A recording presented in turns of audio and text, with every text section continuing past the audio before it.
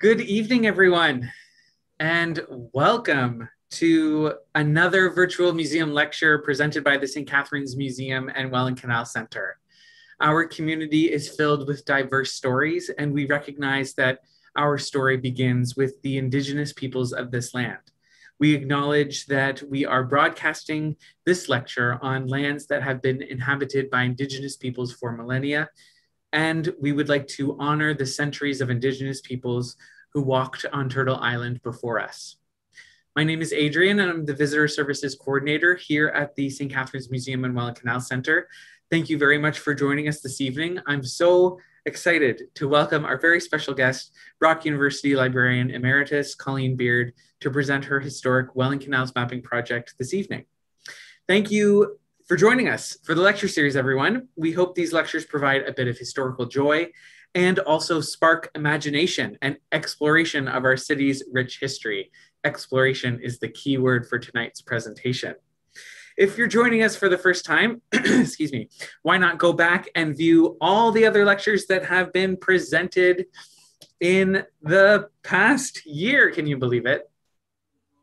Uh, you can catch uh, the over 20 lectures on our playlist, Virtual Museum Lecture Series on our uh, YouTube channel. A quick reminder for those of you watching, excuse me, on uh, mobile uh, devices this evening, please check your audio settings in the YouTube app if you're having audio problems. You may also not have access to the chat box depending on what uh, device you're on. So just uh, you can also post your comments in the in the video underneath, and we'll try to get those as well. Speaking of questions, uh, tonight's presentation is very different, and Colleen and I have chatted a bit about how it will work. If you have immediate questions about something Colleen's doing right at that moment, I'll pipe in and ask. Otherwise, we'll try to save most of the questions for uh, for the end for Colleen to answer. So hopefully we can we can. Uh, it might take some practice. We'll see how it goes. So just bear with us and and practice your patience. If I miss a question, I apologize. We'll get we'll definitely get to it by the end. Um, so uh, before I hand it off to Colleen, let me just remind everybody of uh, our upcoming lectures. We have two more lectures in this series uh, coming up on April 13th. We're also very excited to welcome students from the Brock University Historical Society to present a mini symposium of recent undergraduate work. And uh, we've also decided to launch their annual journal publication, The General, that evening as well. So that'll be a very exciting and very different uh, evening uh, that we're in store for on April 13th uh, on April 27th, we'll close out the winter session of the Virtual Museum Lecture Series with a very special guest, author and historian at the Canadian War Museum, Dr. Tim Cook, who will give a talk about remembering the Second World War and his new book, The Fight for History. And we're already working on a lineup for the fall of 2021. We've committed to the fall of 2021. We're very excited. Mark your calendars for September 21st, October 5th, oops, uh, October 5th and 19th, November 2nd, 16th, and 30th. Thank you to everybody who made suggestions for the topics for those dates. We're very excited to announce the fall lineup for this series during our April 27th lecture. So you'll have to wait a little bit longer to find out what the lectures will be coming up in the fall. I sincerely hope that everyone has been enjoying our virtual museum lecture series, and I would like to encourage you to make a donation to the museum in support of our programming. Your donations help us to continue to provide the high quality and enjoyable programming that you've come to expect from us. We really appreciate any donation you're able to make. Give us a call at 905 984 8880 during our operating hours to make a donation. Your donation makes a difference. Thank you. All right, here we go. Colleen Beard is librarian emeritus at Brock University. She considers herself a historic Welland Canals advocate and is passionate about preserving and educating the public about our local heritage. Her web application, Historic Welland Canals Mapping Project, HWCMP, is an attempt to do just this. Combining historical map resources and digital mapping technologies, also known as HGIS, historical geographic information systems research, uh, the system has resulted in a showcase of canal remnants and a historical glimpse into the past. And with that, I will hand it over. Welcome, Colleen. Thank you very much, Adrian, and thanks to the museum for inviting me. Absolutely. We're very happy to have it's, you. It, it's always a pleasure to get together with canal advocates or even people that are interested in learning more. So thank you very much. Yes. Uh, I've done this talk many times, um, but this is going to be a little bit different. I will focus on the user, which is you, hopefully, and provide instruction on how to navigate the project so that you can get the most out of what the project has to offer. I am not going to provide a historical narrative on the history of the Welland canals, since the visual history pretty much speaks for itself, but the history, especially the economic prosperity and the influence that the Welland canals had on the establishment of the communities, St. Catharines and all the communities between Port Dalhousie and, and Port Colborne. Um, these are all well written in books and they're fabulous stories. So this project actually acts as an accompaniment to the historical narrative that gives it a geographic perspective, you might say. So if you are watching this lecture, that means you have access to the internet and access to a web browser. And that's exactly where I'm going to start.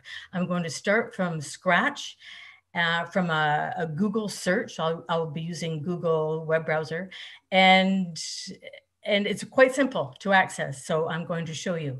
So I'm going to stop my video because you don't have to see me. You just have to um, and Colleen, do you want to share your screen? Because, so I'm going to share my screen. Yes, all they can see is me. Nobody signed up for that. so there we are. Awesome.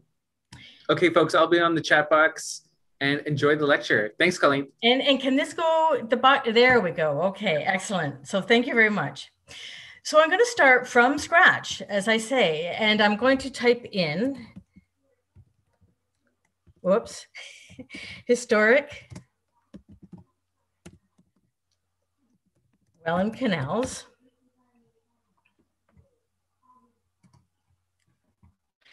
And of course, I come up with the, a list of results and typical Google results, but I'm going to show you how to recognize the HWCMP. And actually, it's right here. Uh, sometimes it's at the top, it gets a lot of activity. But if you come across a number of results that have this, the HWCMP, the longer version of the title is explore the gems of our local history so if you see that that is the correct link Another way to identify the project is through arcgis.com. ArcGIS is the software that I use to generate the web application and, and also use to create the data that I'll be discussing. But also the web app viewer as well uh, tells you that you're at the right link. So I'm going to click on that and the project should load. So far, so good. So once it loads, we have three panels that are showing uh, the map view. Uh, we have add maps and air photo panel. But first I wanna start with the information panel at the right-hand side. It just gives a brief uh, outline of what the project is about. What I want to point out is this user guide. It's a brief user guide that basically describes what I'm going to describe tonight, but I'm going to describe it in a lot more detail than what the guide provides. But uh, it does provide step by step on how to use the project. So that might come in useful. And then a couple tips, uh, but uh, I will be getting to these in a little bit more detail, a lot more detail. I also want to acknowledge some people that have been instrumental in creating this project. It is an act of love, and especially Renee Ressler, who uh, not only has an incredible knowledge of the history of the Welland canals, but he also did a lot of photography that you will see in the project. And also he hiked, uh, we hiked probably, he was my companion hiker and we hiked probably every inch of the first, second, and third canals from lake to lake, either by bicycle, by foot, by boat, you name it. So um, thank you to Re Renee Ressler. And also Renee is the founder of the Facebook group, Friends of the Welland Canal. If you have if you're on Facebook, I absolutely recommend that you join that group. I think it's up to about a thousand members now.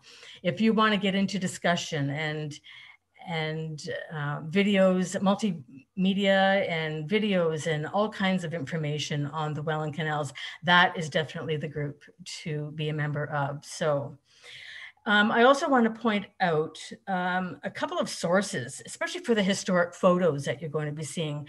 Our public libraries have a tremendous database and collection of historic photos, as well as the Brock archives and special collections. Uh, great resources and also some personal um, resources or collections that I've also grabbed photos from John Burtniak, uh, Roger Bradshaw, etc. Um, other resources, the MAPS Data and GIS Library at Brock University has been instrumental with um, providing aerial photography and historical maps that you will see as well. And I do believe there is a link um, somewhere on this page. There was a link, but it, down here is the information for accessing the MAPS Data in GIS library, a wealth of online resources there as well. Now this panel, every time you see a panel with an X, it closes.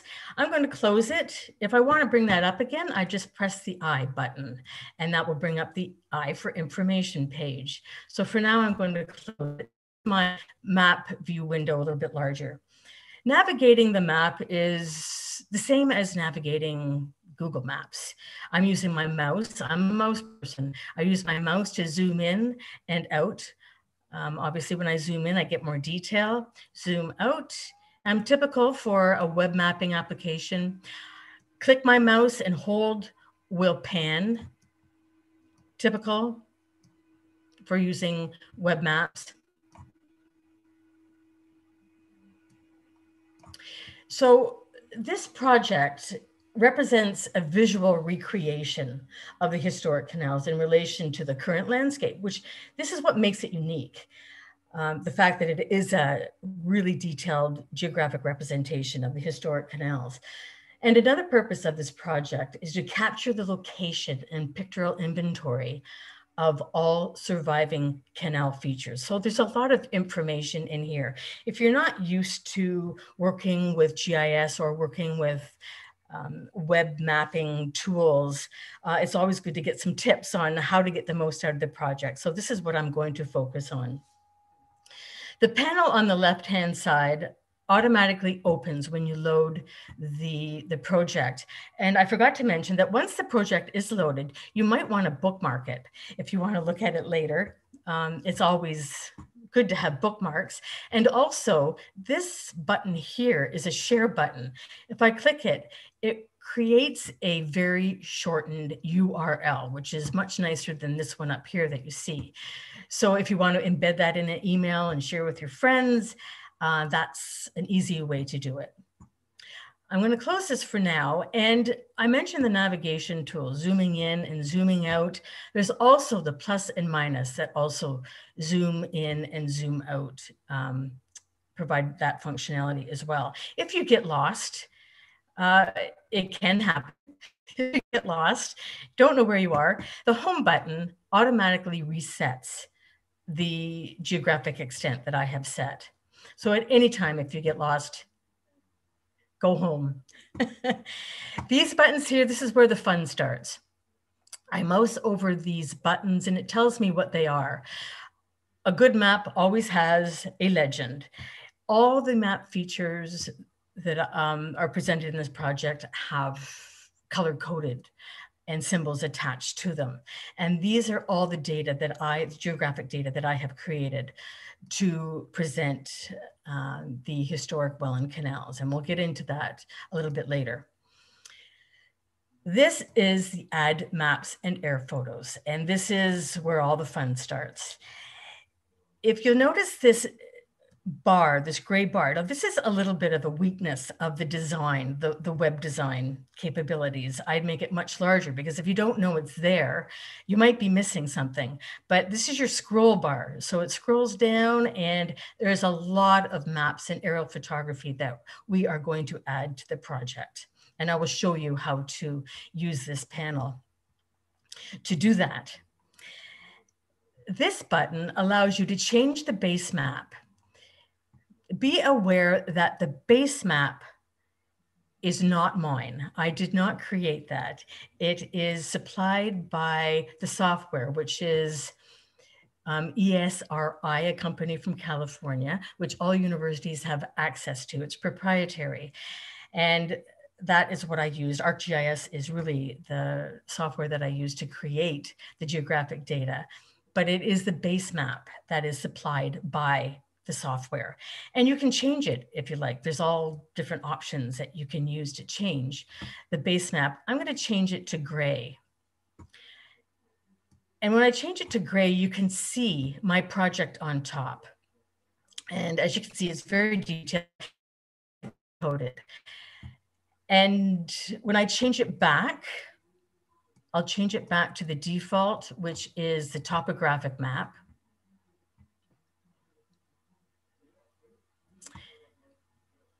So there you go. It shows streets and I use a topographic map because the Welland Canal is basically a physical feature. So I use it to um, as my backdrop um, for this project. I find it best, but there's all kinds of other options as well.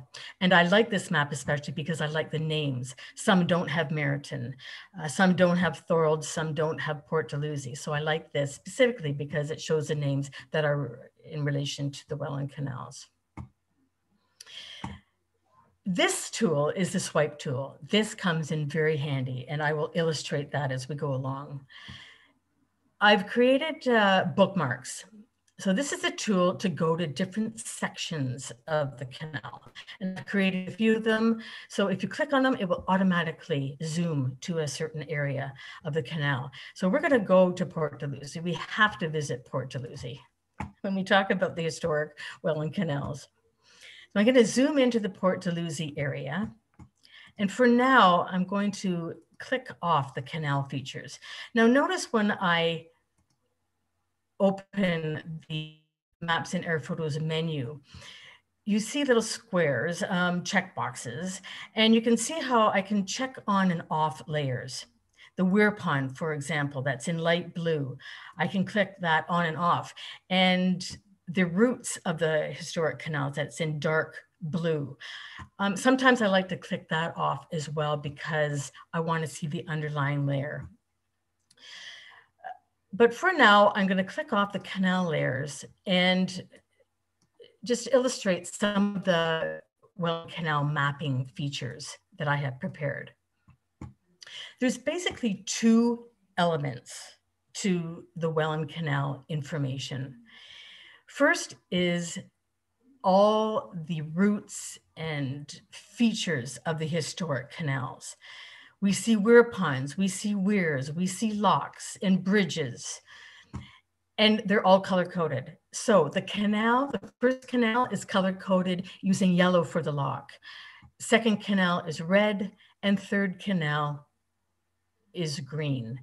So you can follow the paths of the each uh, of each of the historic canals just by the colors of the locks.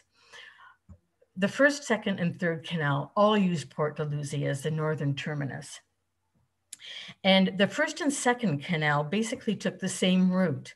I'll zoom out so you can see they used Martindale Pond down through 12 Mile Creek and meandered in through and about St. Catharines, um, down through Shavers Ravine, uh, Dick's Creek to Shavers Ravine, and then up the escarpment at Thorold.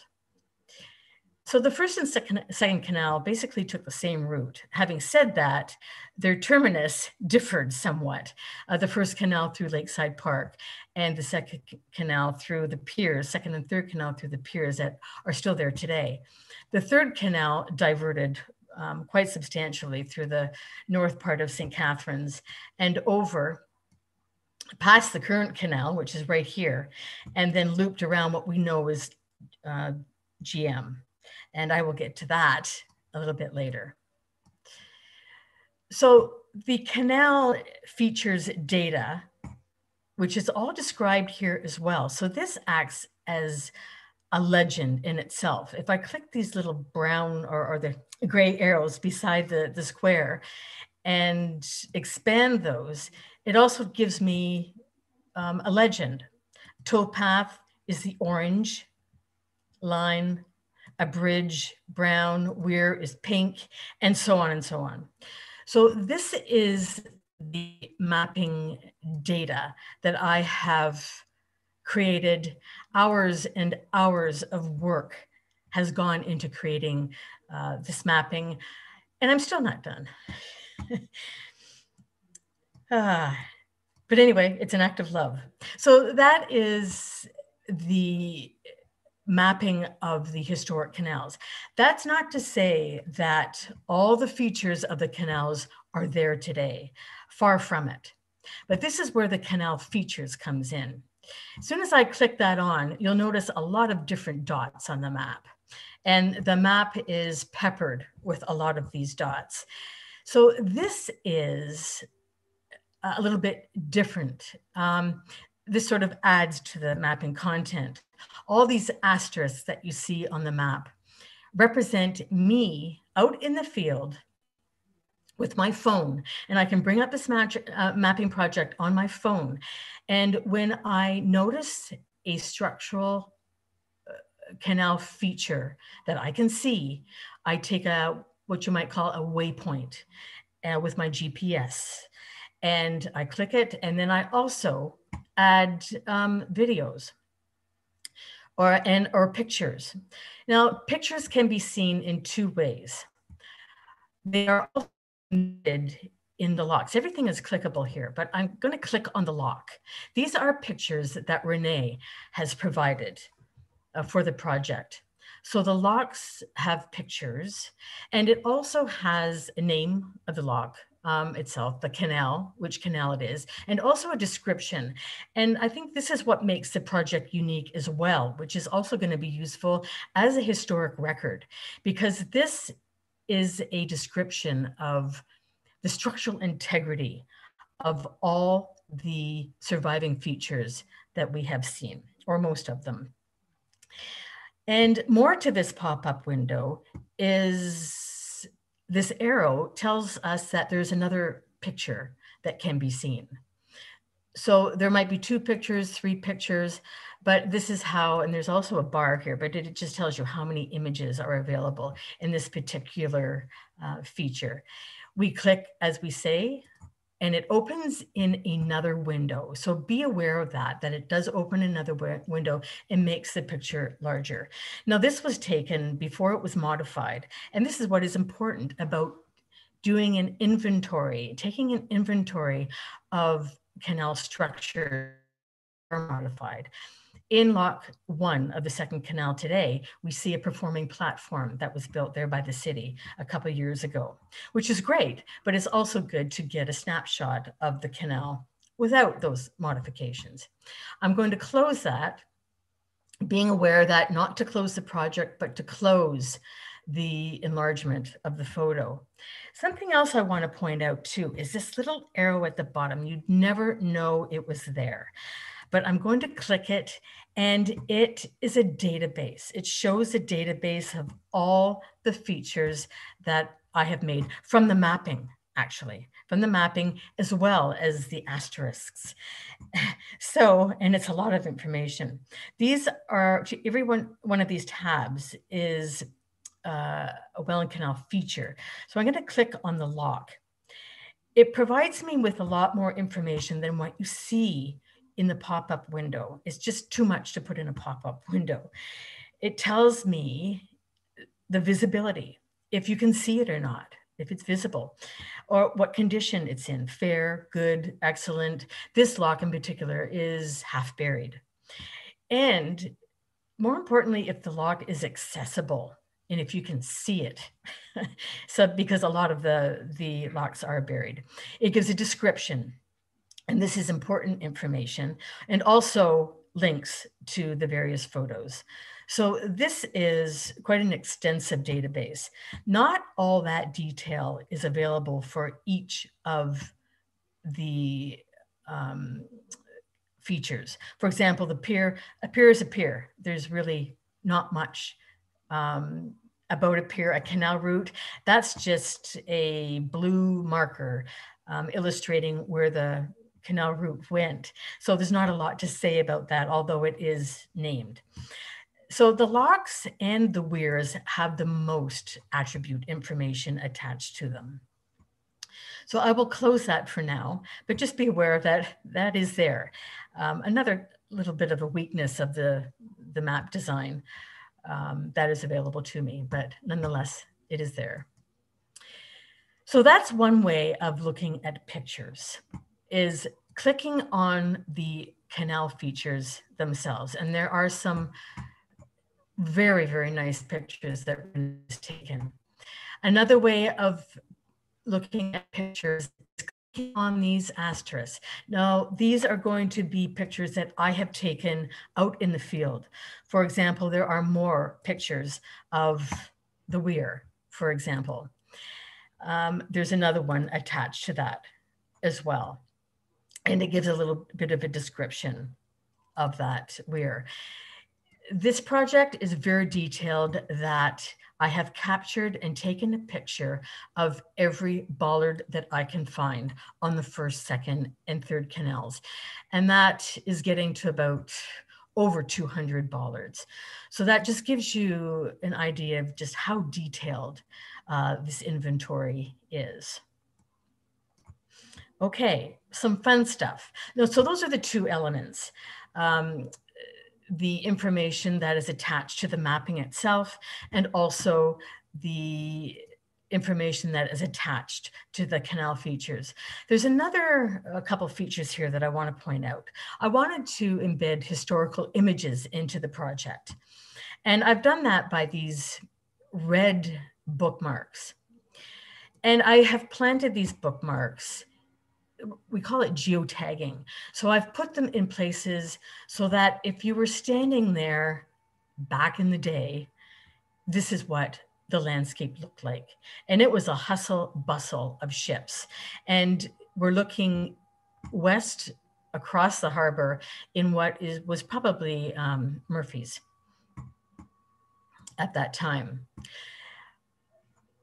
Over here, I want to click to Muir Brothers. So this is a, a picture of Muir Brothers. And this was a, one of the, the biggest shipbuilders on the canal at the time. Uh, that was in operation uh, for a very long time, 1850s to right up to 1968. So it says. So this is another way uh, that you can, uh, or get a really uh, historical um, for the landscape associated with the historic canals. So an, another fun thing are the special effects. These there's some special effects um, planted in the in the project. This one in particular. So there is some fun stuff that lurks under these um, dots. So they're not just dots on a map. This particular one because it's not an image the link to it looks like a broken link but it is not. Don't be afraid to click on it. This is actually a audio of a interview that Christine Robertson and David Serafino um, interviewed Alex um, Bennett, who came over here from Scotland with $20 in his pocket. And he describes that. And he worked at Muir Brothers. So this is an audio. It's really interesting um, a nine minute audio that you can hear him describe what Muir Brothers was was like. You can almost recreate Muir Brothers from his description. So that is a special effect that I have planted into uh, the project. Okay, stuff. These are the two elements. I could actually say there are three elements to this project. So I, I, just what I did there was I just closed um, the the legend to the canal features because I'm going to scroll down and you'll see boxes of different aerial imagery and historical maps that you can add to the project. By clicking the boxes, I get the 1934 imagery. You can see the boats lined up along the pier or what we call is a dam of the third canal. To get a better view, I'm going to click off the Weir Pond, which is the blue, and I'm also going to click off the canal route, which is the dark blue. That went away. It gives me a better sight of the 1934 uh, imagery. But this is this fascinates me because of the activity um, just to illustrate the activity of Muir brothers and the ships that went through the canals at this time 1934 uh, this wasn't in the third canal wasn't in operation but it was still functioning um, as a, a shipyard the Muir brothers shipyard and boats came into the harbor at that time in fact the 1921 photographer, uh, photography shows a much clearer picture of the third canal. Uh, and that was in operation at the time. And we can actually see a boat in Lock 7. Now, if I zoom out, the 1921 aerial photography is limited to just the canals. So keep that in mind. However, the 1934 aerial photographer photography is the extent of that is the Niagara Peninsula. It covers the entire Niagara Peninsula. So it's quite vast. So this was created, all individual photos were scanned and mosaic together by the Maps Data and GIS Library at Brock University. This can be hours of entertainment what I'm going to do here is turn on the 2018 aerial photography. And this is the most current that we have available to us. Now, keep in mind that the 1934 is also turned on, but you can't see it because these have to be, this menu has to be looked at as different layers. Think of it as a, a hamburger, for example, where um, the 2018 imagery is on top of the 1934 or the the dots or the pickle that's on top of the hamburger and and the 1934 is the bottom bun you might say. So all of these layers are in order of how they are represented in the project. However this is where the swipe tool comes in. So i have the current imagery showing, and I want to view or compare it to the 1934. Click on the swipe tool, and if it doesn't automatically say 2018, I can go down to the 2018, I select it. So right away, it gives me half 1934 and half 2018. I put my mouse on the divider, click and hold, and I'm swiping the 2018 photography over top of the 1934. And we can see how just what a what a comparison it is, uh, landscape comparison it is. Um, and as I as I say, it can provide you with a lot of um, entertainment just by comparing the landscape. One of the really cool things is that we know that the third canal went across St. Catharines, but if you drive around there today, you wouldn't know that. But looking at the photography, you can still see the scar that has been implanted by the third canal all the way through St. Catharines. Now that's, that's pretty, pretty cool. Going back to the Add Maps and Air Photos menu, scroll down. I'm just going to click that off, the 1934 off, 198 or the 2018 off, and remembering that I did turn off the canal route, takes up a lot of room, and also I'll turn back on the Weir Pond one last thing I want to show here in Port Dalhousie is one of my favorite maps. So there's aerial imagery that you can click on and off, but there's also historical maps. This is a historical map of Port Dalhousie in 1839. And it sits on top of the base map. I want to point out how you can make this transparent. This ellipsis here, if I click on it, it gives me a transparency option. And if I take the slider, click and hold, I can make that map transparent. And as you can see, it does hug the same um, sort of shoreline as it did back in um, back in the time, uh, which is quite remarkable. Uh, we can also see, I think down here, we can see, and if it doesn't load right away, be patient, there are, they are big files. What now is Henley Island was Browns Island at the time. And we can also see um, the pier. Um, as it loads, we can see the pier. Now my pier that I mapped and the pier from the map doesn't line up quite accurately, but I use much more current and accurate maps to map my pier than what is represented on this 1839 map, which is rather important. But the cartographic detail that is in this map is quite remarkable, which is why I added it. Excuse me.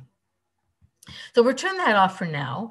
So that is how you add um, historical content to the map and how you explore, how you can compare different landscapes. To get rid of all this, I'm just clicking on the ellipsis and it gets rid of all of that. I'm going to use a bookmark now and we're gonna go someplace else. We're gonna go downtown and we also call it the Canal Valley.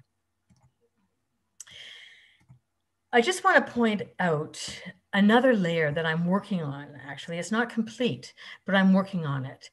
And going back to the layers, add maps and air photos menu, take my bar and scroll down. I can also use my mouse and I have a mouse roller. I can use my mouse roller to scroll down. There is a layer called industry. I'm going to click on that. And what I'm doing is populating the map with industries that occurred or that were in uh, that, that were functional in uh, the second canal, first canal era. We see Merritt Saw and gristmill, uh, which was in the Wellandvale area um, initially, but he owned many other mills in, in, the what we what was considered the shipman um, area. Um, I'm also attaching trying to attach photos as well. For example, Shickluna Shipyard, have to go to Shickluna Shipyard. And here I've identified Shickluna, and this is a photo of what it looked like um, back in the day.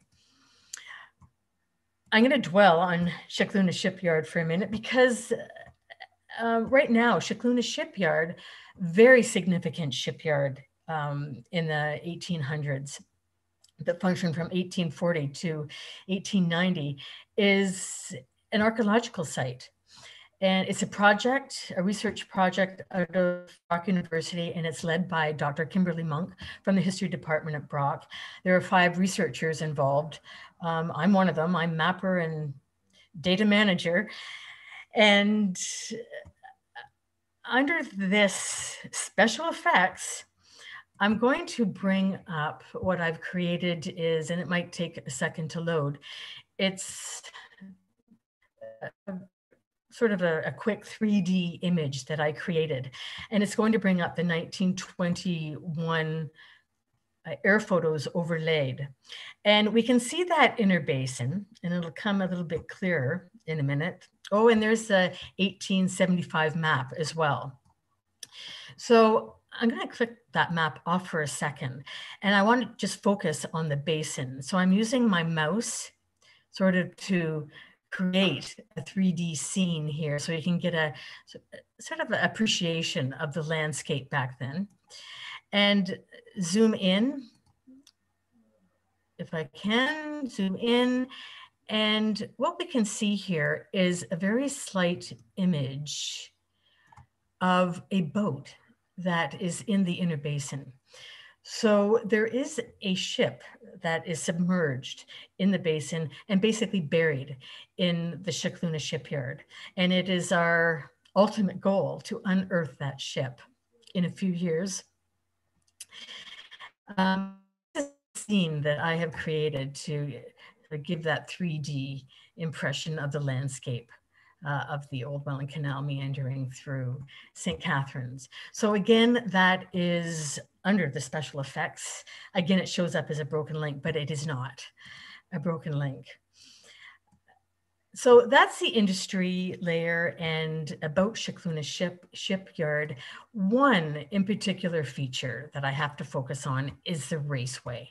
This raceway that is identified by a blue line that meanders through St. Catharines is really what Merritt wanted in the first place, a reliable waterway um, that provided him with um, power, water as power. And this is the hydraulic raceway, which originates in Merritton. And you can actually walk this. And Renee and I have walked this pretty much in its entirety.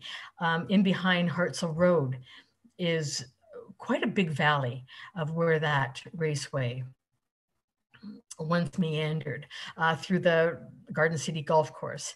Um, so that um, in itself is a hike. Let's uh, use the, what's my time here? Okay, um, we're gonna use the bookmark and we're going to go to Merritt Locks. This is absolutely hiking territory.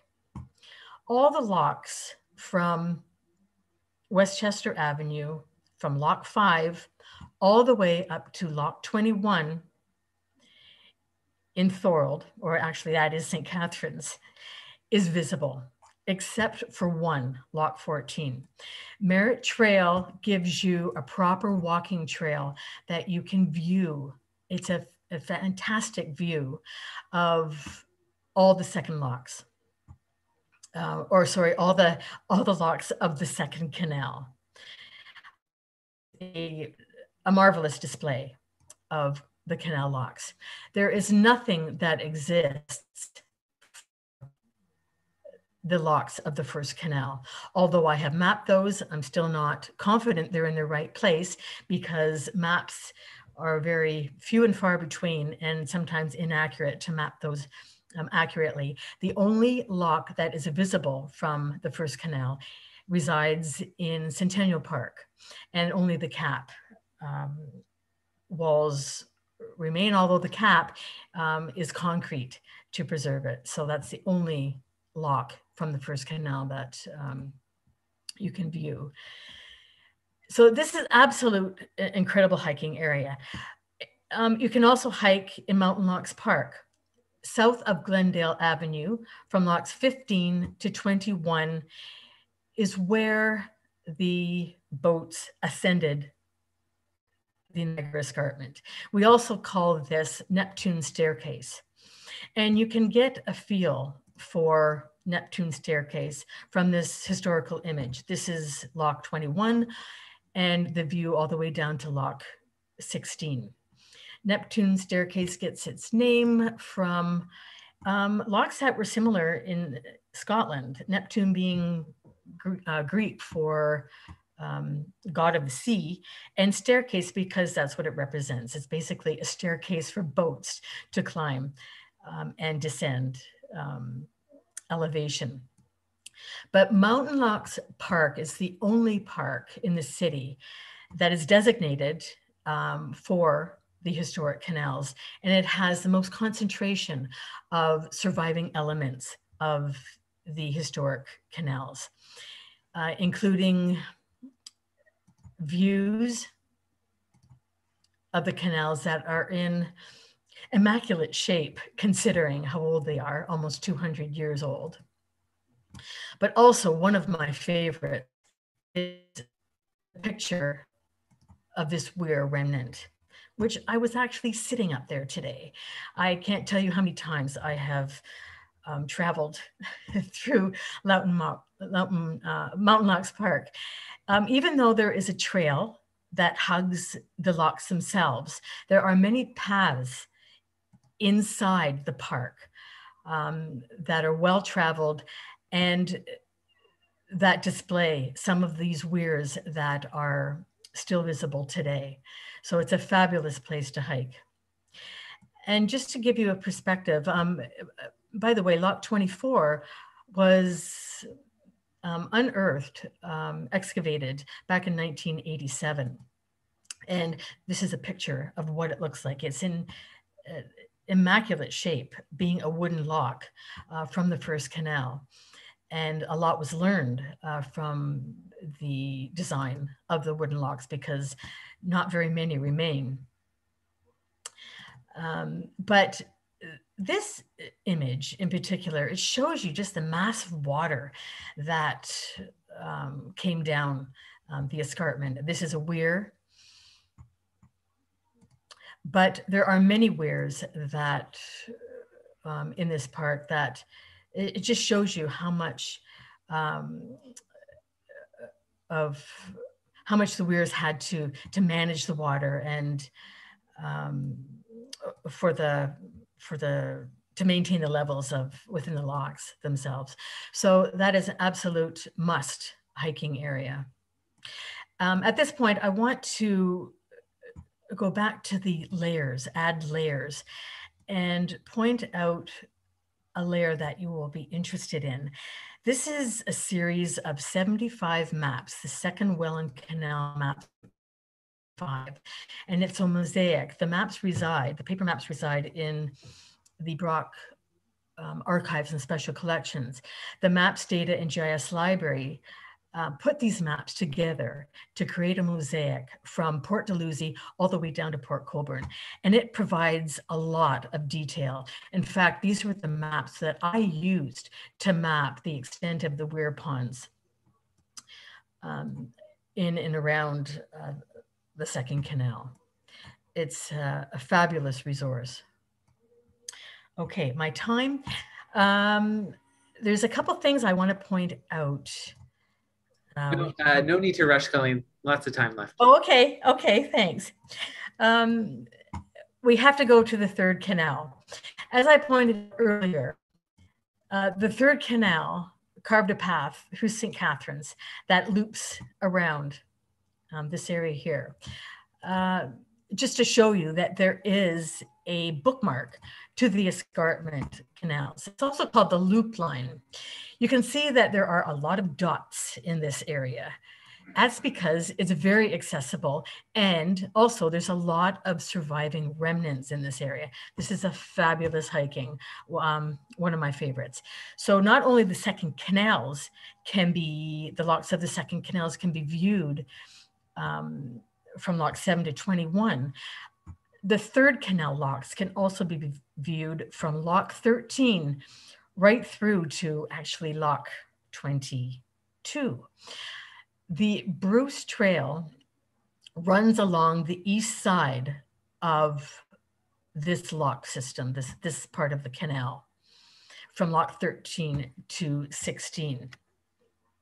So it's a great hiking trail and each one of these locks is visible um, and can be explored. Just, uh, that's not, I'm gonna zoom in here and click on self.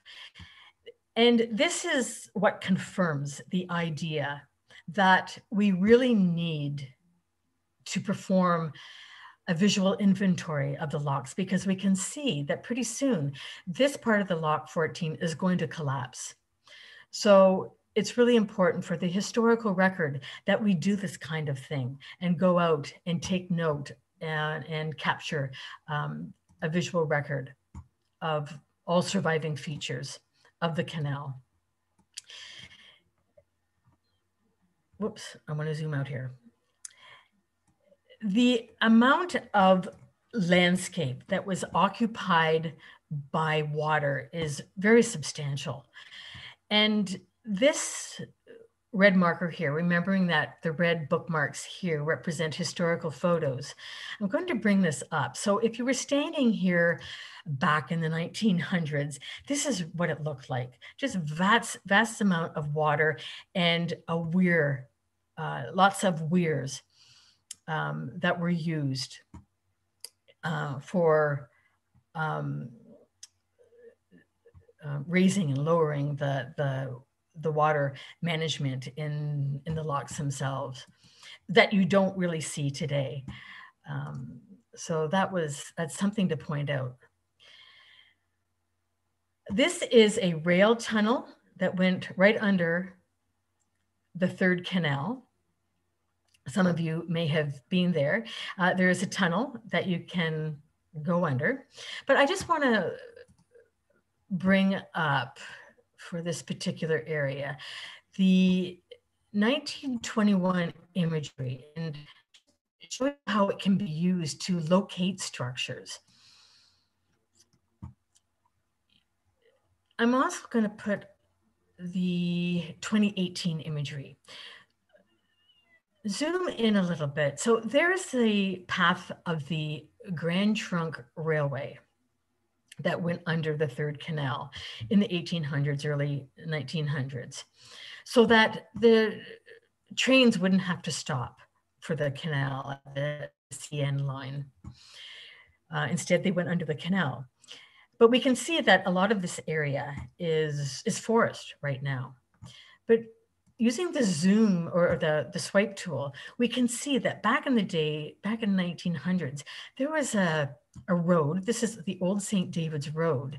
And I'm doing this because I know there's some people um, snooping around in this area, but there was a whole um, neighborhood in this area called Turney's Corners. And there's a lot of foundations that still remain in this area. It's an archaeological dream. Uh, and because we can see them on the historical imagery, but we can't see them just by looking at a current image, it's uh, quite difficult to find.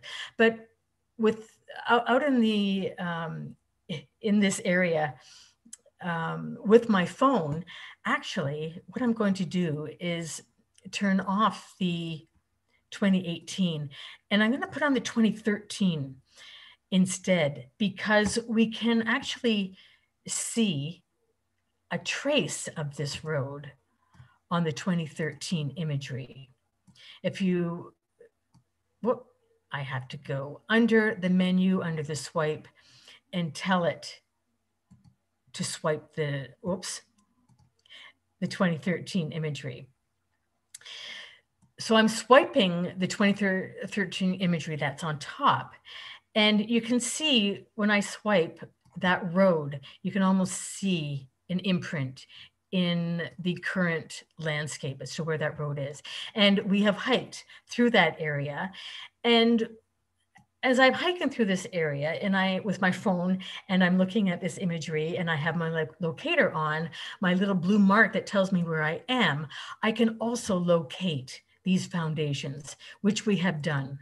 And under these asterisks, functions of the homesteads and probably Turney's homesteads.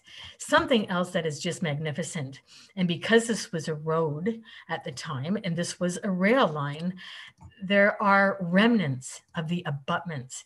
If you're walking along the path of this rail line, which doesn't uh, the rail doesn't exist anymore, but they just come out at you in in the midst of a of a, um, of the vegetated landscape, like a sci-fi movie, or um, it, it, it's quite remarkable. There's another image here. Uh, and they're in an immaculate uh, condition made of, of stone blocks. And uh, they're quite um, um, fascinating. So this is something to explore. However, um, unfortunately, we're not really supposed to be in this area. It is Seaway property. Uh, I'm going to go back and going to my layer menu, just clicking off the 2013 imagery for now. Uh, I'll leave the historical imagery on. Um, we're not really supposed to be uh, hiking in this area because it is seaway property. Um, however, I've exposed myself now. I've been back there many times and the dots on the map give it away. Uh, but I just want to point out uh, the wing wall of Lock 21, which is probably the only lock on the third canal which illustrates the wing walls um, in their entirety. They are fascinating. And the only time you can actually see this in its entirety, this lock, is when the reservoir is drained in the winter. As you can see, this is the winter, uh, winter time. But you can see the flare um, and how they slope uh, from the canal wall. It's just extraordinary. And because we cannot hike this area, um, there's people like Bobby Davidson who has posted drone imagery on the Friends of the Welland Canal.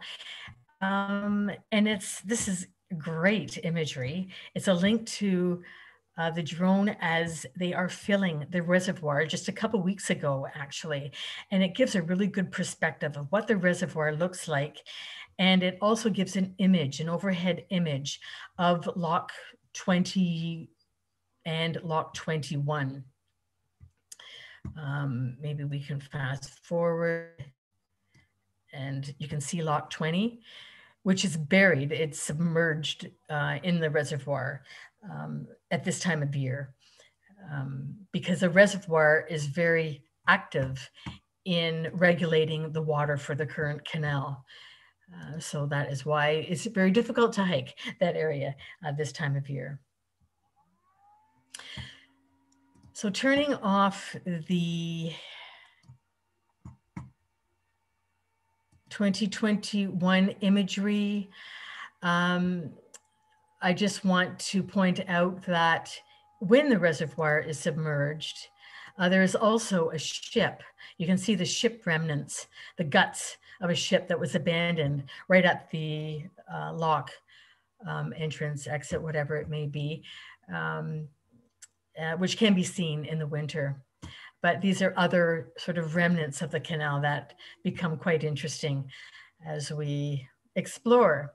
I have concentrated mostly on St. Catharines Thorold area, but be aware that the mapping of the historic canals extends from lake to lake. It includes all the mapping um, or the canal elements, including the feeder canal and right to Port Colborne, the historical locks, historical piers, etc. So a lot of work has been done to map these elements. Again, not all the elements are uh, on the landscape or visible on the landscape today, but this is how they would have been on the landscape back in the time. Again, the asterisk and dots on the map represent uh, the surviving features.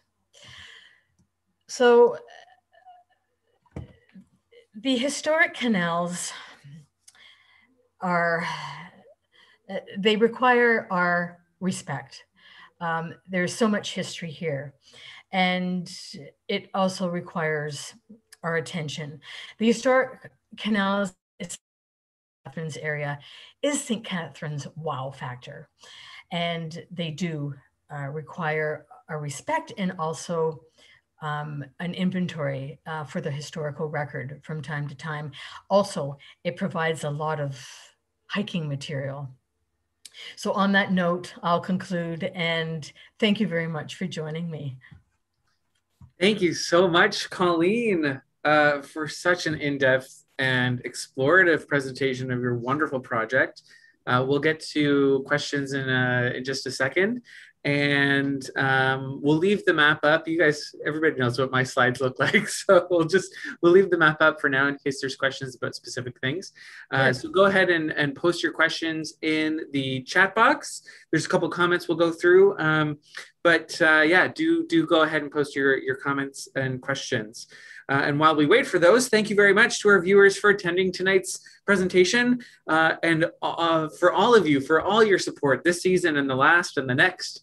Uh, of the Virtual Museum Lecture Series. If you enjoyed tonight's presentation, please consider making a donation to the museum so we can continue to deliver the high quality programming that you expect from us.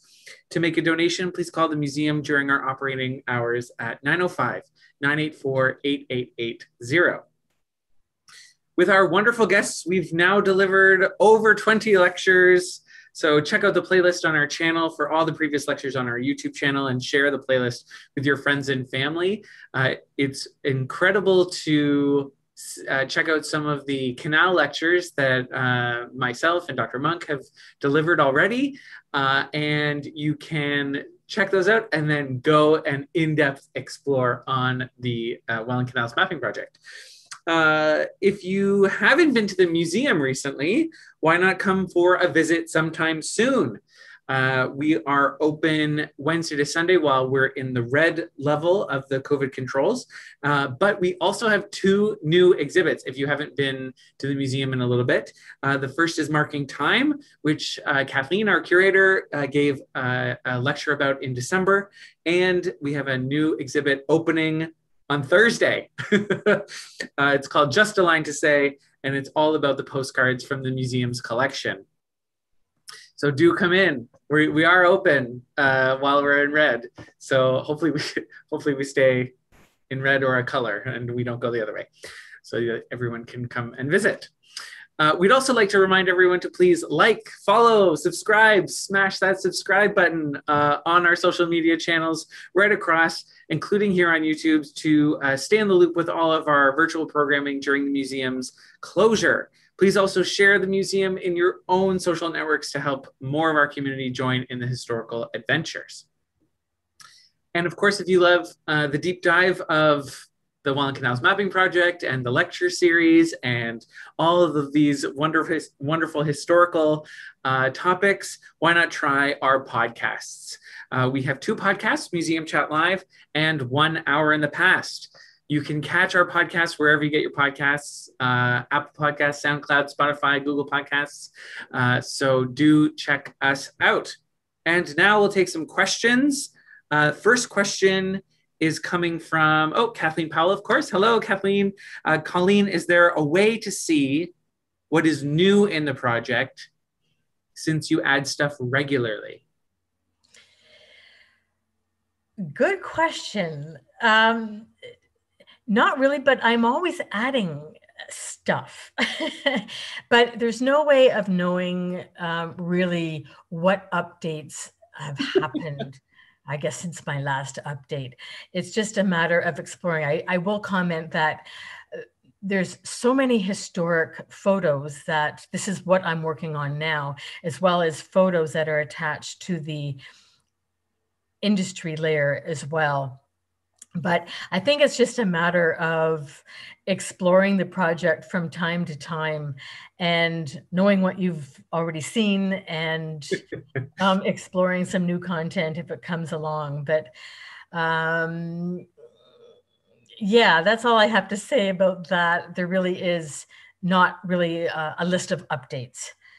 No, that's great. But, and, but that is a good question. That's, that's something perhaps I could investigate yeah, it, something you could investigate going forward, not going backwards. Yeah. That would be incredibly difficult. Yeah, even um, if I even if I put notices in perhaps the information panel, uh, that might be an option hmm. uh, to put information in um, last updated or or new new edition since so and so. That's actually a good idea that I could do. Almost like the uh, suggestion. yeah, yeah, almost like the fire insurance plans. You know how uh, they glued over like the original map instead of making an entirely new one. That's that, right. That would be really that would be really really neat. Yeah, um, Colleen, I have a question actually about uh, ArcGIS and this particular project in comparison to other projects. As if you're, are you aware of, you know, this is the biggest project that I've uh, biggest GIS project I've ever encountered. It, are there comparable projects? Not for the Welland Canals. No. No. Uh, there's lots of books, lots of maps on them, on the Welland Canals. But as far as the historic Welland Canals are concerned, No, this is what makes the project unique. Yeah. That this is the most detailed um, web mapping project for the canals that exists. Uh, there's other GIS data that is available. I think the St. Catharines, the city of St. Catharines, or maybe the Niagara region has created lines that represent the paths of the first, second, and third canal, but nothing that is comparable to mapping these structures, every weir, every bollard, every weir pond, um, and the detail that comes into the routes. And do you know, do you know if it's unique across sort of historic sites or other canals? I'm thinking like, you know, do other major historical sites like ours have something? Have you ever encountered anything uh, in other locations like uh, like the Rideau Canal or or um, the Trent or or railways or things like that? Well, as far as canals are concerned, I don't think so. I'm alone when it comes to the canals. However, yeah. in terms of historic GIS projects or GIS projects that are, are about history, there's many of them. Um, there's actually a book on historical GIS research in Canada. Oh my gosh. that has actually has a chapter on the the historic Welland canals. Oh, that's uh, so there are many projects that use GIS to display um, historic content um, in the world, uh, all over the place. Um, so so it's nothing uh, nothing. It's, it's relatively new, but it is nothing new. Uh, it's used uh, quite quite frequently. Yeah. Yeah. We, uh, will like, we'll be using it for the Shickluna shipyard as well. Yes, of course. It's incredibly valuable for for historians, um, both sort of as a beginning, as a as a middle, and as an end to research. Which is why I asked because we are incredibly lucky to. I'm sure you hear this all the time, but we're inc- especially now when research is is so limited in, in availability and accessibility we are so incredibly lucky to have this resource. Um, and I'm sure you know, and I'm sure you hear it all the time, but I think it's important to tell you and thank you for how much work you've put into this because as you mentioned it is sort of your project uh, and but i don't you know it's it I I don't know if you know how important it is uh, and it's interesting because you said at the beginning that you weren't going to tell a narrative about the Welland canals but the site the the website inherently tells a narrative. So you know, talking about um, Neptune staircase, you know, the not only the historical uses, but uh, you know, during the canal's operation, but also the historical uses in terms of the last hundred years uh, or almost hundred years of, um, of of it not being used uh, and being used as a recreation space uh, instead of a, an industrial space. Uh, and even talking about um, you know the purpose of the canal in the first place with such a high emphasis on the raceways. Uh, you know you are telling narratives and i i think it's so so so so so important. Yeah um, another thing that it, it, it complements uh, any literature. For example, really it's okay to read a book. I mean, there's lots of books written on the Welland canals, and they do describe, they have lots of pictures, they have lots of maps, and they describe features and this, that, and the other thing. But now we can, you, you can put a, a map and um, a picture uh, to the geographic area that um, they may be talking about. So this has really never really been done before yeah. as to superimpose the history on top of a, a, current landscape so that you can relate to it. People and know the current landscape but they can now relate the history to the current landscape so absolutely. as, as i say it's an accompaniment to all the um, the narrative word that is out there. For sure. And it i think what's neat about it is that it's it democratizes the story because now people can see that the canal or what parts of the canal were in their back that are in their backyards. Yeah. If they're here, they can go and see it. If they're from far away, they can at least zoom in as closely as possible or look at some of the pictures that you and Renee have taken and get a get a sense of it there. So I, again, thank you, thank you, thank you so much. There's a, a couple more questions. Um, lots of lots of comments of Um, of course, a world class project. Uh, also, uh, Let's Get Hiking Again. That's from Des. Yes. Um, so lots of hiking to do this summer, of course. Speaking of hiking, I just want to note too that just watch out for poison ivy in some of the locations that Colleen mentioned, especially in Mountain Locks Park, in the uh, not on the main trail, but on the east side, or sorry, I guess the north side of Neptune Staircase. There's a, some patches of poison ivy, so just watch out. That's a that's a classic. Uh, uh, experience poison ivy on some of our trails in St. Yes. So just yeah, just heads up on that. Um, is not- i- if I can interrupt just for a second, this is the best time to hike. It's still Yes. dry. Uh, The weather is great. yes. No, there's no ticks yet. I- And um, yeah, it's a perfect time to hike. As a matter of fact, I, I very rarely hike in the summer. I hike in the winter because of the ticks. And uh, there's also no vegetation yet. And vegetation uh, is one of the reasons I don't hike in the summer because you can't see anything. You can't see anything. Yeah. Uh, it, it obscures a lot of the structures. So this is a perfect time to get out there and, and hike some of these these places. Absolutely. Actually, our next Lego challenge uh, is coming up next week, and we've filmed now because you can see some of the bridges that we're doing. So we're doing bridges for the Lego challenge, and it's uh, it's pretty incredible to see everything. When you go there in the summer, some of those trails I only go to in the summer, and you can't see anything. So I totally agree. Definitely a good time to hike. Uh, also, just want to make sure that everybody's safe out there when you're hiking. Wear proper footwear, take some water, and a person with you, uh, always a buddy to hike, and you know a phone and that kind of thing to not only take pictures but just in case something happens.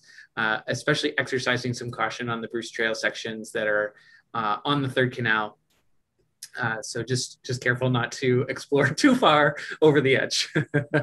um, uh, are there any records of methods used to build the canals? Um, Dave Steele asked. There's many, many, many, many records uh, from the various uh, four canals. They they didn't all use the same methods and um, materials and that kind of thing. In fact, lots of different types of uh, people and engineers built the four canals. So uh, that's definitely something that you can kind of explore here on the Welland Canals Mapping Project, but is also a good place to look at your basic Welland Canals book uh, for that kind of information. Uh, and Kathleen asks again, how does how will it work, Colleen, if there's a, a software change in the future? What will it- can it can the site get archived somehow so that if something happens to the software or something like that, that it's still accessible? You can tell that question is coming from an archivist. Yes. that is an excellent question. And of course, anything digital like this, who knows how long it will last? What I can say is the data, the geographic data that I have created are individual layers, GIS data that can be preserved.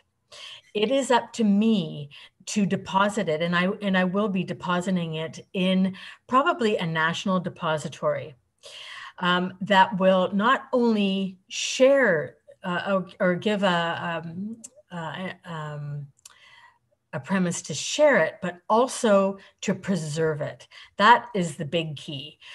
This sort of interactive website that you see here, sure, it can change, but as long as my data is preserved, anybody can take it and recreate what I have rec- what I have created here in any kind of web application. So the key here is to make sure that my my uh, vector data, you call it, all the, the routes, the weir ponds, and the location of the raceway, and all that kind of thing, and the locations of my canal features, the inventory that I have taken with boots on the ground, all that can be preserved so it can be recreated. So down the road, um, probably 20, 30 years from now, uh, no, you, you this could quite possibly change and it might not even be around. I won't be around, so it's a good chance this might not be around, but the data itself can be preserved. That's great. And uh, yeah, thank you for talking a little bit about the techno- technological difficulties. While technology is so great, it is changing so fast so that, you know, things that we experience now may not be possible in the future. But I'm yeah, I, I'm hopeful that uh, you're right. In terms of the data, the data is preserved, then we're okay. At least sort of okay. Maybe that, the application will be different. But um, Bell really wants me to mention, and I forgot, Bell, there's been so many great comments, uh, Bell, that yours has gone to the top and I can't see it anymore. But um, Isabel wanted me to mention that, of course, the lock gate and the sluice paddle from, or the sluice paddle and the of the lock gate from Lock 24 is here in the museum. Uh, so definitely uh, come and visit the museum. I'm actually very excited to use that particular artifact in our in redeveloping the galleries in the in the years to come, as a part of our interpretive plan yeah, Lock 24, the, the excavation of Lock 24 was particularly important, happened just before I was born, but particularly important um, for understanding the, uh, the, the sort of the finer detail of the construction. Of course, they, most of the written documentation that we have about the first canal, it comes from the form of complaints of things failing and or not working um, and so having the archaeology to support uh, the, the, the remnants of information that we have about its construction are, are really great. Maybe that's Isabel down there in the pit. No way! Oh, that's awesome. I, would, I did not I know that. I wouldn't doubt it knowing her. I wouldn't doubt it. Right in at the action, of course, Isabel. Absolutely. Well, uh, oh, um, uh, uh, okay, great. So I think we've covered most of our, our wonderful comments and some questions. Again, Colleen, thank you so much for, um, for coming on to present uh, your project this evening. Uh, again, I'll just, I'll just um, say that the project is so important. It's inspired so many uh, so much research and it supports so much research. So, everyone at home, give a big round of applause to Colleen and her project. Thank and um, if you want to get in touch with Colleen, you can do so. Uh, her she's bravely posted her email on the information panel on the website, and I'm sure she would, uh, if anybody wants to get involved in in some way, I'm sure she can be in touch with you. Absolutely. And if anybody comes across a remnant yes. that isn't mapped in the mapping project, I want to know about it. it's true. So uh, we'll leave it there. Thank you very much, everyone. Get out into the field, take your phones or, or whatever device you have with you, uh, and enjoy. Go for a hike. Thank you so much, Colleen. Thank you and very we'll much. talk to you all soon. Thank you, Colleen. You're welcome. Thank you. Bye-bye. Bye.